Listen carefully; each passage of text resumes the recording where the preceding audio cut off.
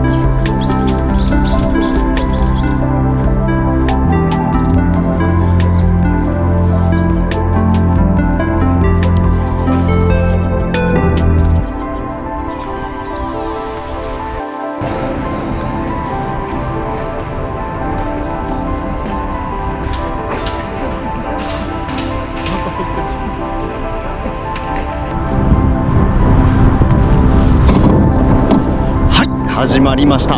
今回は横須賀市にあるカロー山古墳を訪れるということでカロー山古墳なんですが三浦半島でまだ登ったことがない山ないかなって国土地理院の地図で探してましたら見つけちゃいました。カロー山？ちょっと変わった山の名前だなと思って。でしかも古墳がついてる。どんな山なんだろうなと思って調べてみました。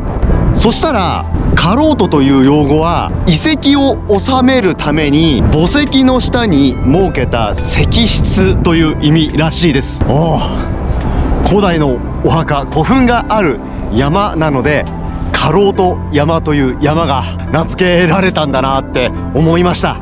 それでカロート山古墳がある場所なんですが京急線 YRP 駅北側の位置にありまして古墳は7世紀中頃の作りで三浦半島では最後の古墳と推測されているらしいです。三浦半島で古墳と聞くと葉山町と逗子市の市境にある長江桜山古墳を思い出しますね。三浦半島には教育カロート山古墳と長江桜山古墳以外にも他にもあるんですかね。いやーそれにしてもどんな古墳が見れるかいや楽しみですね。それでスタートは京急電鉄三崎口からスタートしまして先ほど沿線沿いで開催されております三浦海岸桜祭りに行ってきました。三浦海岸桜祭りは去年も訪れてでその時に三浦半島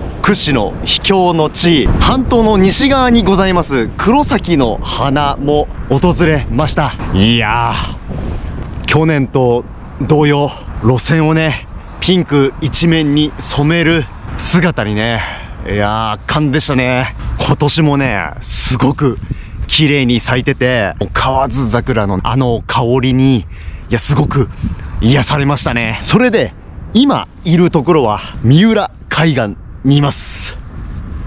すごいですね。いや海ですよ海。すごく広大でね穏やかなビーチで対岸にはね東京湾を挟んで房総半島がよく見えますね。うん。ピンク色の可愛い河津桜と綺麗な海がスタートから見れていや今回も絶好調ですね。それといやカロート山どんな山なんですかね。本当に楽しみです。それでは行ってきます。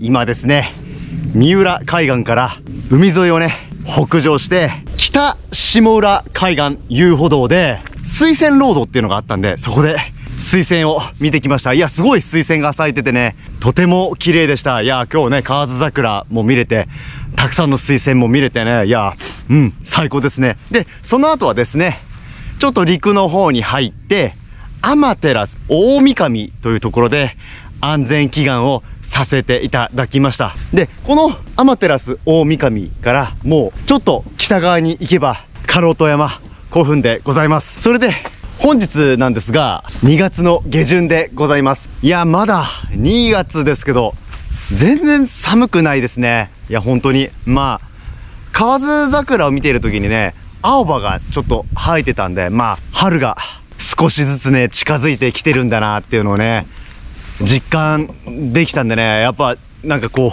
うもうなんか冬じゃなくてなんか春みたいな感じですね。歩いてて結構ね蒸し暑くなります。でそれで今日なんですけど天気予報はですね曇りだったんですよ。けどですね青空が見えますね。いやーついてますね。この後から多分だんだんね天候が崩れてくると思うので、まあ、その前にね過労と山に行けたらいいなと思います。それではね過労と山まで。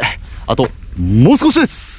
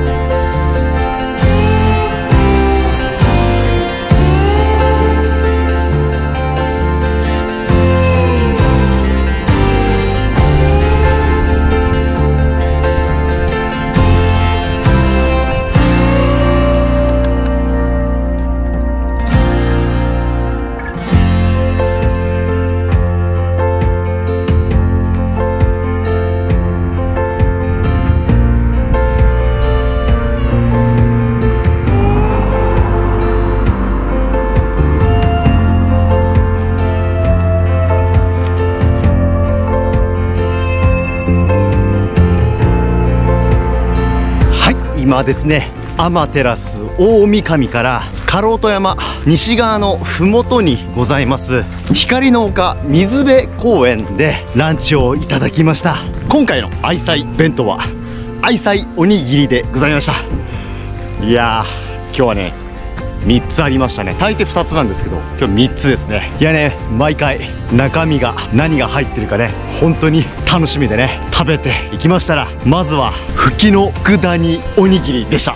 いやふきの佃煮おにぎり？初めてですね。1個目のおにぎりでいきなり初めてなおにぎりだったんでねまずびっくりしました。それで次はですねちょっと見た目で分かったんですけどのり玉のおにぎりでしたね。いやーこれは間違いなく美味しいでしょもう子供の時からね食べてるんでね。めちゃくちゃ美味しいですね。うん。でそれで最後は自分の大好きな安定の昆布でございました。昆布おにぎり。最後に自分の大好きな昆布おにぎりでね締めれていや今回の愛妻おにぎりも最高でした。ごちそうさまです。ありがとうございました。それで今光の丘水辺公園内にいるんですがその食べたところは水辺の横で食べたんですね。でその水辺の横からひょいっとこう横にこの今歩いてる道に入れると思ったらですね入れなくてでちょもう一回よく調べたらこの水辺公園の西側にまた違うこの入り口があってこの道を歩いていけばカロート山古墳に着くらしいです。いやもうなんかこの入った感じでちょっと雰囲気がいいですよね。まあ初めてっていうのもあるんですけどいやめちゃくちゃドキドキワクワクしてきました。それではカロート山です。引き続き行きます。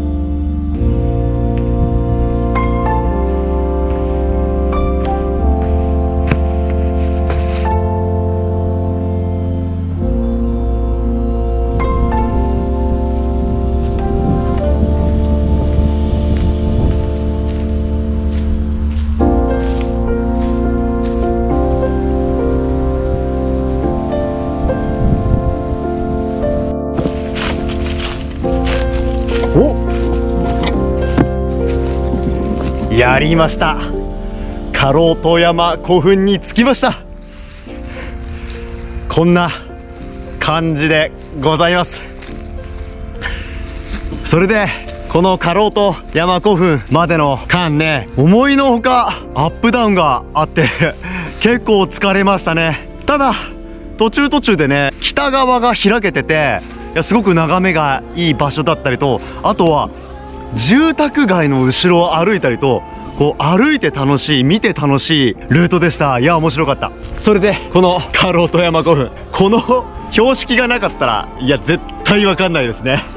ここまでの間いやもうそろそろ着くかなもうそろそろ着くかなと思ってこう歩いてなんか宝探しみたいで面白かったですね。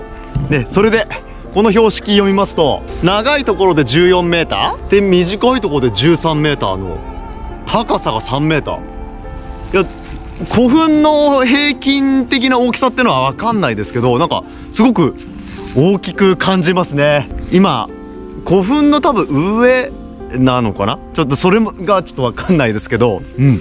なかなかの大きさなのかなと思います。それで今回三崎口からスタートして河津桜を見てそれで水仙だったりとあとは天照大神あそこの神社も良かったですね。それでね水辺の丘公園でカロト山。いや今回もね三浦半島にはまだまだ知らないところがたくさんあってでそれで行ってみるといいところがたくさんあるなってね改めて三浦半島の良さをね今日知れましたね。それではこの後はこのカロート山古墳の南側にあります YRP 伸び駅に向かって今回のカロート山古墳の会を終了していきたいと思います